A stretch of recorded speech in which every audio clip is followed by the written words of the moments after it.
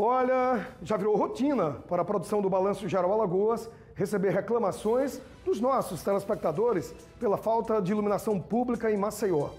Gente, existe um trecho entre as orlas de Cruz das Almas e Jatiuca que é simplesmente sinistro passar por lá. Tá difícil.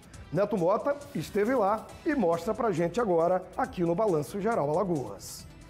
Eu estou exatamente aqui em uma área de divisa das orlas e dos bairros de Jatiuca e Cruz das Almas.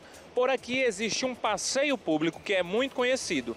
Tem uma ciclovia e também um grande calçadão bem extenso por vários quilômetros que também segue aqui durante toda a paisagem de praia. Maceioenses e turistas passam por aqui, mas à noite, especificamente, num trecho que fica por trás de um grande resort, na verdade um grande hotel, esse trecho está considerado como crítico por causa, como vocês podem ver e constatar, da falta de iluminação. Pelo menos sete postes aqui estão sem as luzes ou com as luzes apagadas. O Josivan, que está aqui do meu lado, foi quem entrou em contato com a gente pelo Pajuzap. Josivan, quando eu cheguei aqui, eu fiquei impressionado como é que você ainda se confia em passar aqui atrás diante de tanta, tantos casos de violência, crimes. De onde é que você vem e por onde é que você pretende chegar passando por aqui?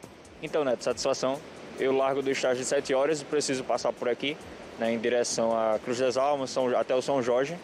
Né, e a gente vem notando que já faz um tempinho que já está apagado. A gente já entrou em contato com a CIMA e até o presente momento ela não se pronunciou. Foi aberto também um protocolo pelo WhatsApp da CIMA, mas até agora nada. E a gente até entende que se for furto de cabo né, e, que se, e que seja feito um serviço melhor, porque a gente passa, a gente vê as tampas abertas, que isso facilita também o furto de cabo. Da caminhada do seu estágio até a casa onde você mora, esse é o único trecho que você passa nessa situação ou tem outros trechos onde a iluminação deixa a desejar? Tem outros trechos. Lá, inclusive no São Jorge, tem um trecho também, tem um quarteirão que está apagado já, vai fazer duas semanas e ainda não foi resolvido. Então, no seu percurso, pelo menos dois trechos não apresentam iluminação. Isso, dois trechos não apresentam iluminação e são dois trechos importantes. Tanto aqui como a passagem é, de turista e o próprio pessoal da cidade, e lá o pessoal que desce na Josefa de Melo para ir até a sua casa. Já ouviu algum caso de assalto ou outro crime que foi praticado aqui nessa região? Aqui não, lá em cima já.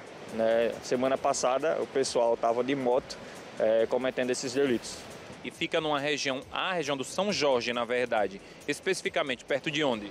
Ali na Josefa de Melo. Então vamos reforçar então o apelo do Josivan e de todos os moradores praticantes de exercício físico também que passam aqui nessa região que fica entre a orla de Cruz das Almas e também entre a orla de Jatiuca. Falta de iluminação não só aqui, como o próprio Josivan falou, lá no São Jorge a gente vai em busca então da Superintendência de Iluminação de Maceió para saber o que é que está impossibilitando aqui que essas luzes sejam acesas. Aqui da região da Orla de Maceió, Neto Mota. Olha, Neto, muito obrigado pelas informações e nós entramos em contato com a Superintendência Municipal de Iluminação Pública aqui de Maceió Estamos até agora, 7h33, né, aguardando uma resposta, aguardando um retorno. Então, alguém da cima da assessoria, presidência, direção, diretores, nos assistindo agora, manda uma resposta, não para a gente, tá? Quem mora lá nessa região, Cruz das Almas, ah, São Jorge, Jatiuca, tá difícil o negócio por lá. E não é de agora, faz tempo. Né?